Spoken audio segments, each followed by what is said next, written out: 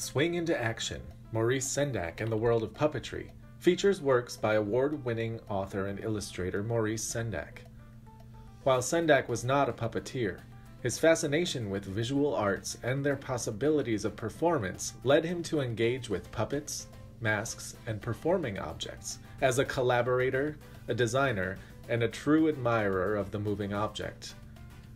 Presented in partnership with the Maurice Sendak Foundation, Swing into Action features original works by Maurice Sendak, 19th century moving artworks from Sendak's personal collection, exquisite handmade puppets by puppeteer Amy Luckenbach, and many objects created with and inspired by Maurice Sendak and his cherished catalog of work.